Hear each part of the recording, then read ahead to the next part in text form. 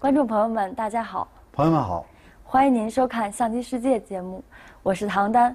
今天呢，还是由我跟张强老师一起为您讲解《天天象棋》二零一七全国象棋男子甲级联赛的精彩棋局。今天呢，带给您的对局呢，是由杭州环境集团队对阵北京威凯金环建设经济联队的一盘啊决胜局。好，现在我们来看对局的双方。嗯，红方是李炳贤，黑方是蒋川。好，我们边聊边给大家讲吧。对，双方以飞象对视角炮开局。对，黑方是走的左视角。对，炮八平六。这盘棋呢是双方在第二轮当中呢，是第四场遭遇的情景。对，前边三盘棋呢，等于是红方呢，也就是说的这个杭州队呢取得了这个领先。他们是一胜两平。对，第一场棋呢，这个我们经济联队这个金波呀，在大优的情况下呢，未能突破这个对手。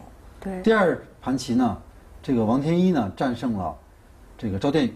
嗯。第三盘棋呢，这个赖吕兄和陆伟涛下成了和棋。对。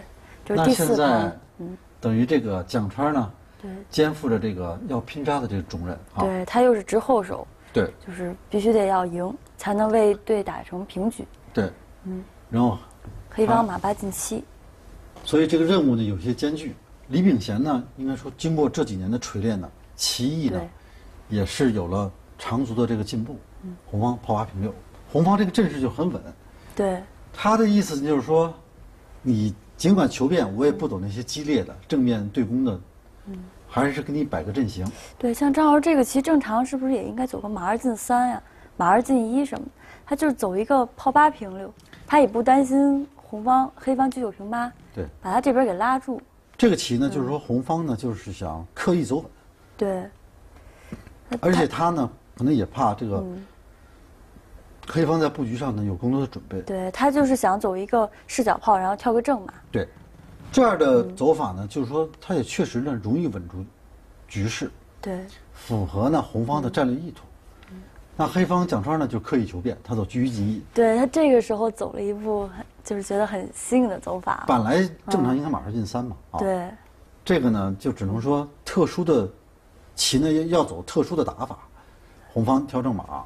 可能红方也没有想到黑方这个车一进一的这么一个走法。对，黑方守擂。车一平四。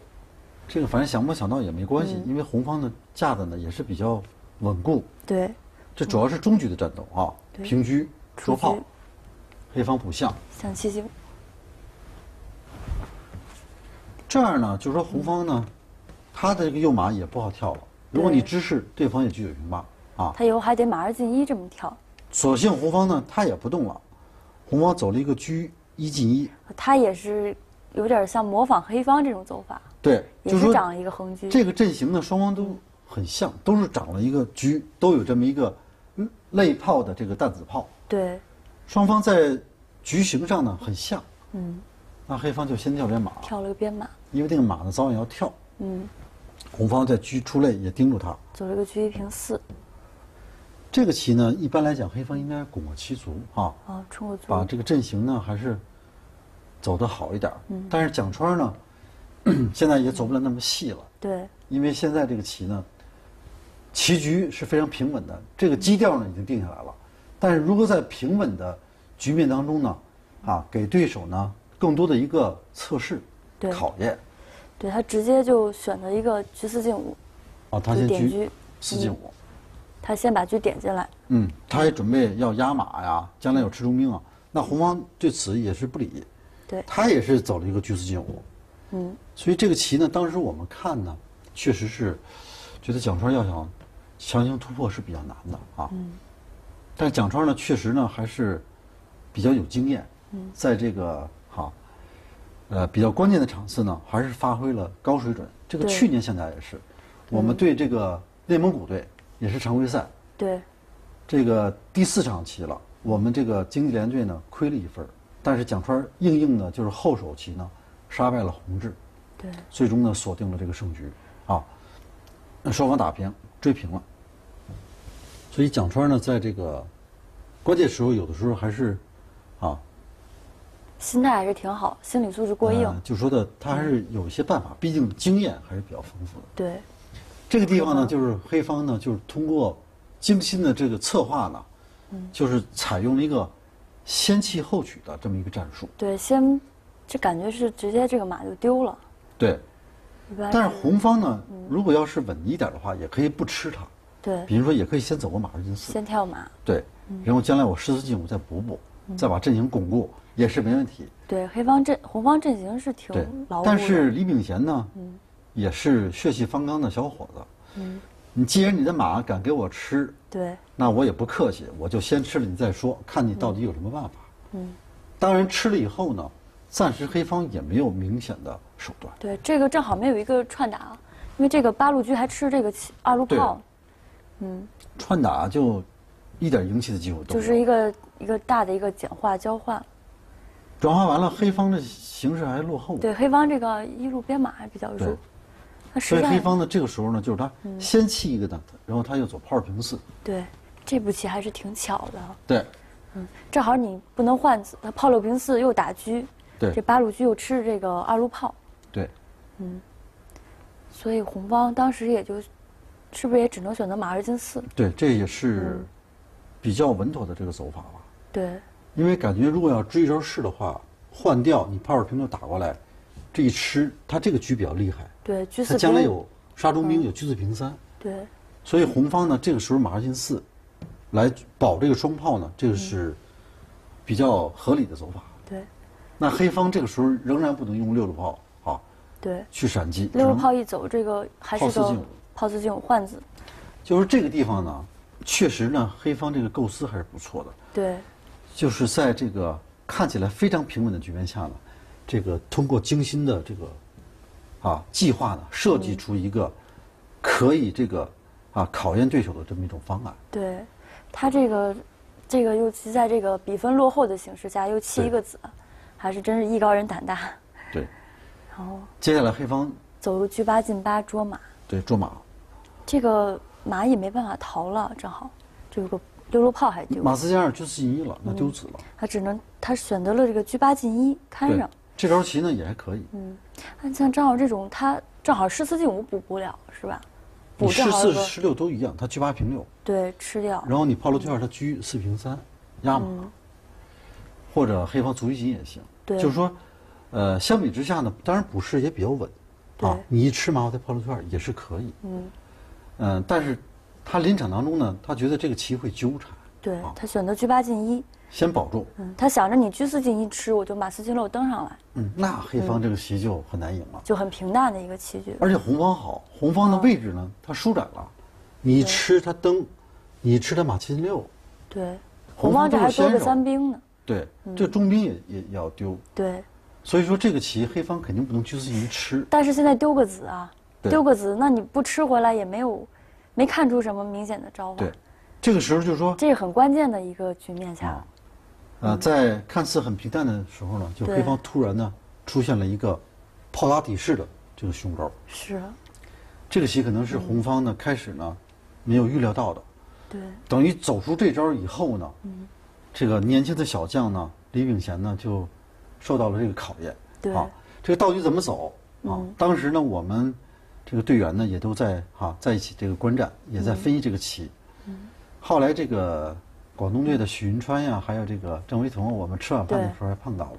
嗯，后来郑维彤就说说这个棋呀，就是应该舔掉。就直接对下五平四把炮他说吃掉也没什。么棋呀，这个郑维彤说。但是，一般都不敢这么走啊。临场呢，对，这个红方可能有更多的担心，他是更希望能够简化大子。对，结果就错失了这个战机。我们看初帅，啊，郑维通这也说应该走初帅，关键这个这么压力这么大的情况下，这个老将这个出来了，哎，这个正好他呢可能有点静电。对他这么吃炮，用直接就把炮吃掉。那现在黑方少少俩子了，只有车八平七哈对。啊，如果你初帅的话，他进将了，你等于你没走棋啊。嗯。车八平七这是一个杀招，红方只能进帅。对，我们看看这儿的这个变化啊，帅四平五，你就放在那儿这也行，对，反正他然后他车七进一将，对他进帅，嗯，他这个这个有的时候这个棋盘呢，它有这个静电，对，他进帅，他车七进一将，然后上帅。帅五进一，嗯。黑方。然后车四进一，这个肋炮肯定正好是把炮吃吃回来。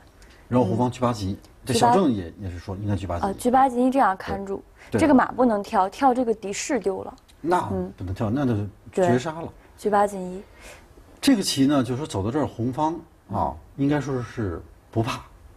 但是黑方这个黑方有几种走法，嗯，我们来看一下啊。黑方第一个就是车七退一，车七退一，对，下步出帅出将，对，对，这车把把第一个就是说的，他先把这马吊住，红方呢就只能退车了，这个毫无疑问了。退车，黑方也只能退车。车三车四对三，对，红方这个时候车三平四守住，这么守，黑方在卒一进一。卒一进一，这个棋红方呢，嗯。不怕啊，他毕竟呢先多了一个大子，对。而且这个地方呢黑方没有办法去进攻啊，对，主要最多你就把这马吃回来。是。这个车守住这个肋马了，嗯，这个车暂时也吃不到这个吃吃不到。嗯，这个红方这个双车双马防守还是挺好。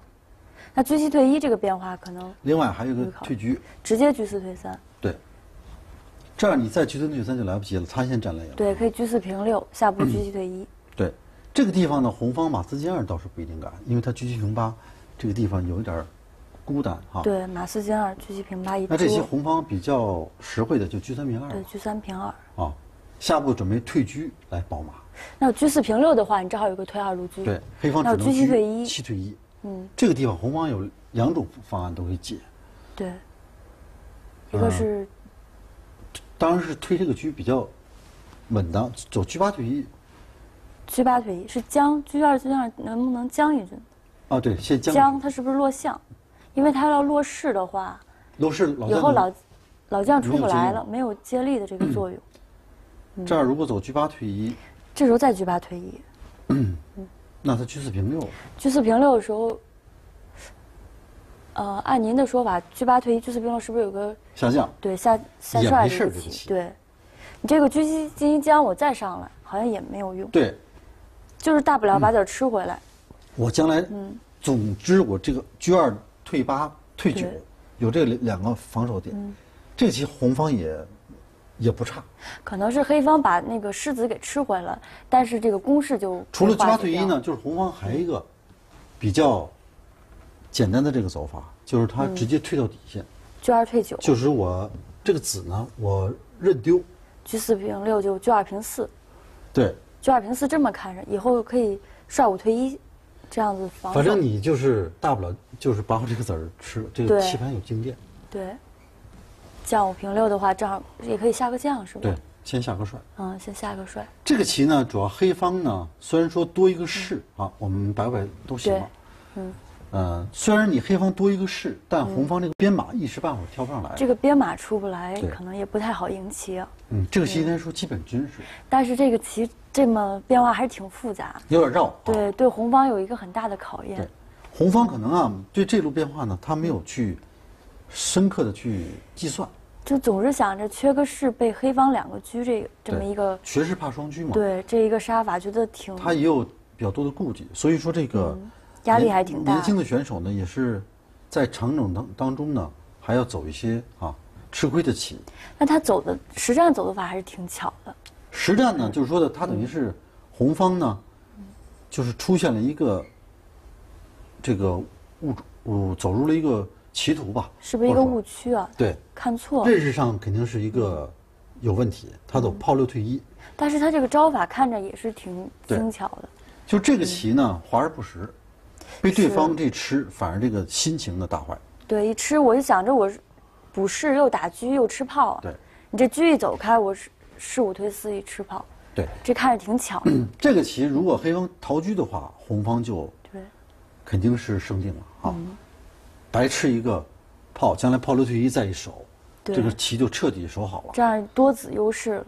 对，嗯，他是不是考虑到他以为是他逃炮，你吃了车四进一，他算这个棋的。对，然后准备这个多一个子，但是少一是一象，那个车四进一这么住，嗯有个吃着对象，，但是黑方呢有比逃车更好的棋啊，这个时候黑方就果断的走车四进二，把你这个炮砍掉。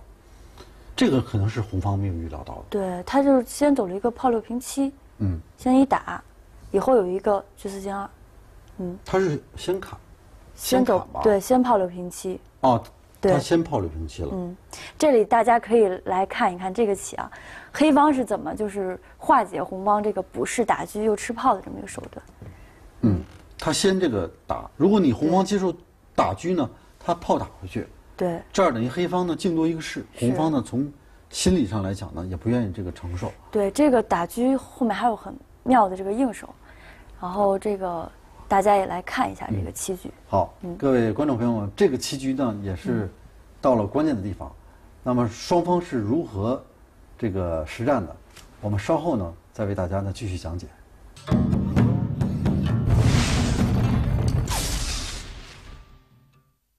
好，各位棋友，欢迎您继续回来。我们继续呢，给大家讲解这盘棋的这个终局战斗的这个局面。嗯，黑方一打车，红方呢实战呢，他又走了一个车三退三，这又是连续的错棋。对，但是他这也挺犹豫，他想着我就退回来，你要把我车打掉，我再炮六平四，再这么吃掉。啊，他是想把这个位置走好一点。对。但实际上呢，这个。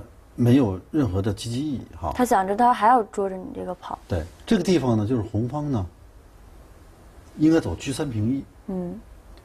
那黑方如果逃车，这个炮就丢了，黑方肯定不能逃了。对。他也只能车车四加二，是吧？嗯。车四加二，砍炮，他吃掉。黑方再出帅，这是一个叫杀。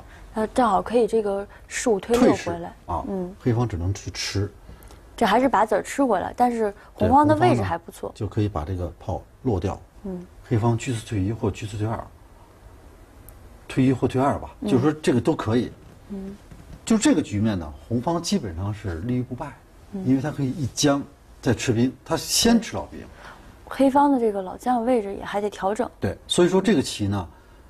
形势呢，应该说红方呢，基本上，啊也是可以接受的。所以说这个就接连呢，在细微的地方呢，等于红方还是没有处理好，就给后来的作战呢带来了巨大的难度。他等于是走到这儿的时候呢，他是走车三退三了，嗯，结果被对方车四进二砍炮。黑方呢，就是通过这个转化呢。形势呢，一下取得了这个优势。对，车八平六吃掉，之后他再将五平六，这是一个杀招。对，这就不一样。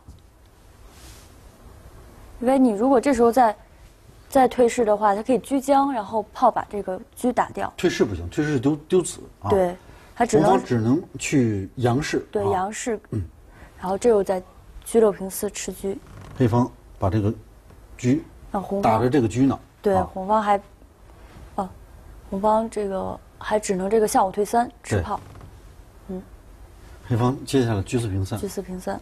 其实这个棋呢，我们临场看的时候，觉得红方这个棋呢，它也不好输，是，就是这个棋无论如何，红方呢应该走退窝心马，对，就是先把这个底象保住。嗯，这个局面黑方要想赢呢，也着实呢比较困难。如果你车三退二，我我可以车三平五。那车三平一吃兵，那我就把你中子组吃掉。对，这个棋等于变成红方多一个兵，黑方多一个士。黑方尽管是不错，嗯，还是有个漫长的战斗。取取胜呢，嗯，还比较艰苦。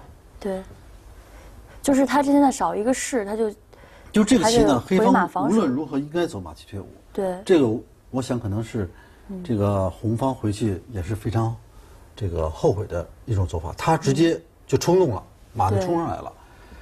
他可能当时觉得黑方这个马慢，红方这个车马能形成有效的进攻。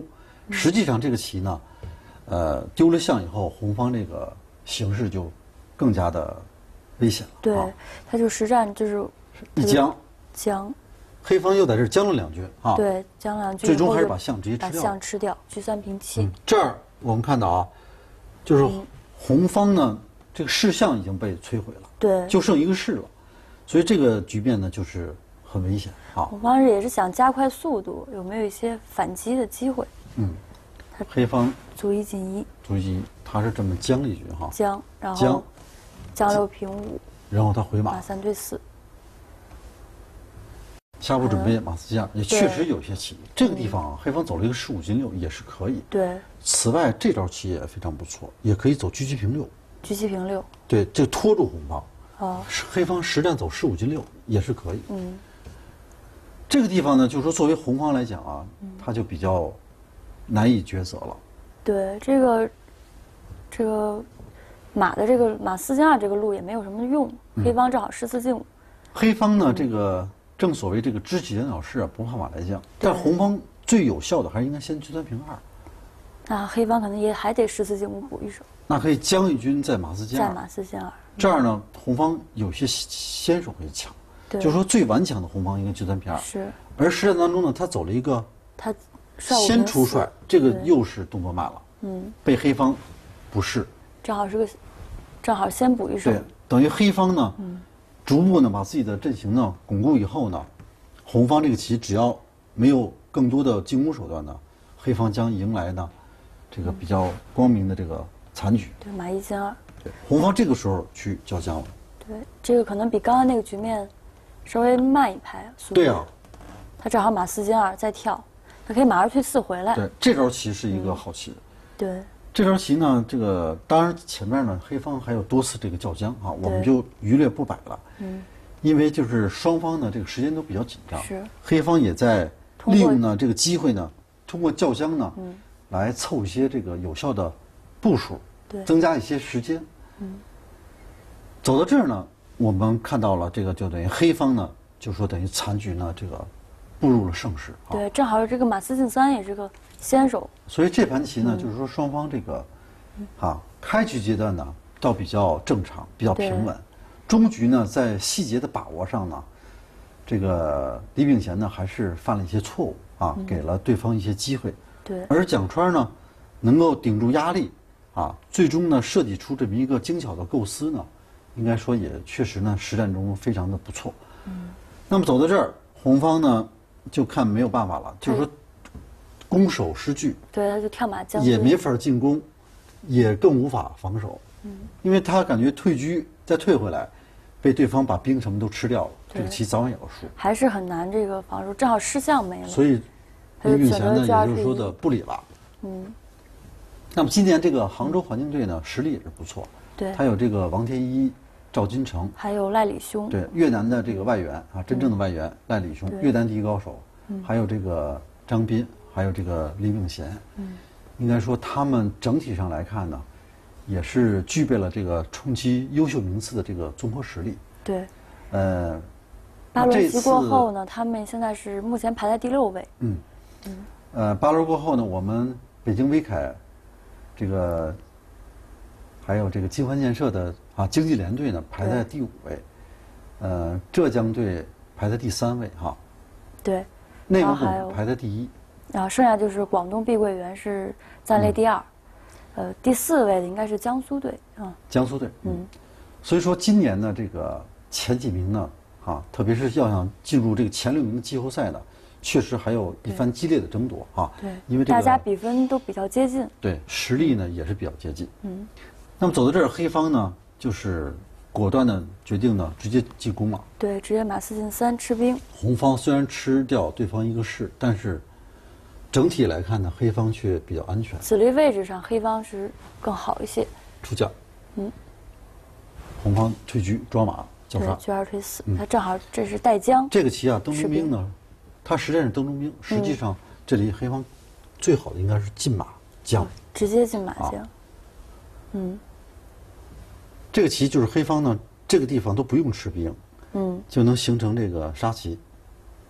红方只能上帅是吧？对，然后再马四退二，对，退马正好是解杀嗯。反杀，防止这个车二平六的杀法，也有马二进三的这个，红方只能退士了，对只能退士，黑方再退车这一吃，又是杀棋，马二进三把你握死，对马二进三这红个方只能车二平七，对车二平七防守，黑方呢就车一将，你只能再出来。正好带将吃子的，黑方呢再一将，嗯，他可以把车吃掉。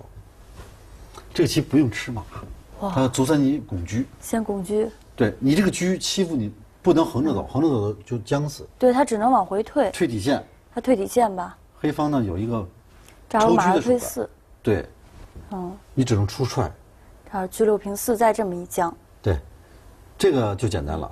你一进帅，他车四平三一将车四，平三，这个把车抽掉了。车马冷招啊，这对是，就是说，当然这个是最精确的走法，黑方可以速胜。对，但蒋川那个实战走法呢，也是可以的。嗯。啊，就是这个地方呢，就是我们之所以给大家摆出来呢，就是大家又可以通过这个局例呢，了解一个车马冷招的这种杀法啊。对，所以这个少失象啊，这个车马冷招就能运用出来了。对，马三进四，车七退一，马马四退二，这个是非常好的手段。嗯，实战当中黑方也可以，他选择的是马三进五将，对，那红方只能进帅，嗯在马五进三，黑方又只能再出帅。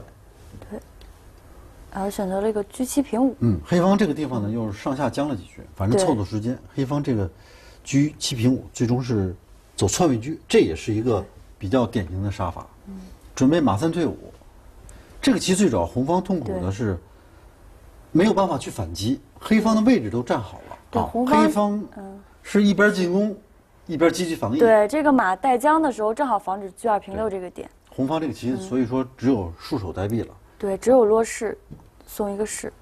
这个棋盘有的时候嗯那个点得点到最灵活的部位，对，然后然杀后杀一将，然后下帅。对，他是好。下帅，然后他正好有个他走了一个车五退二，其实这个棋车嗯五平七也很厉害。啊，直接平开，嗯直接平这儿。这个反正都行吧。嗯，呃，最主要这个棋红方呢，他也不知道怎么守。对，而且红方这个车马也没有攻势啊，对对，这个车二将点他这将军这个更厉害啊！他是嗯车七进一，马三退五，马五进七，这是连杀。对，这有一个将的棋对，，这个棋我们看嗯啊，如果我们再给大家摆演示一下这个车马冷招，对，车黑方一将，你你是不是只能上帅啊？对，然后马三退五，他马三退，五，你上将就车七退二将死，对，只能进来。然后黑方在马五进七。正好这个四路将守住了这条线你，车七平六，你上帅将两军，把马就扣掉了。对，啊所以他车五平七是一车五平七更厉害。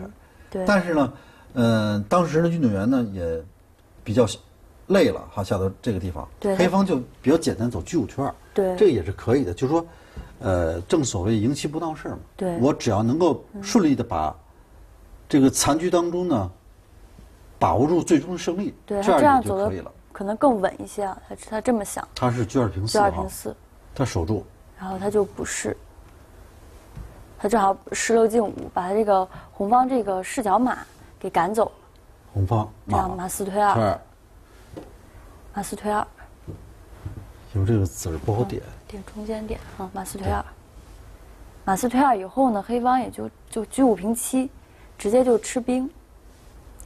对。黑方车五平七再吃，主要黑方这个又有多兵啊，这个士红方士将也没了，所以这个防守很困难。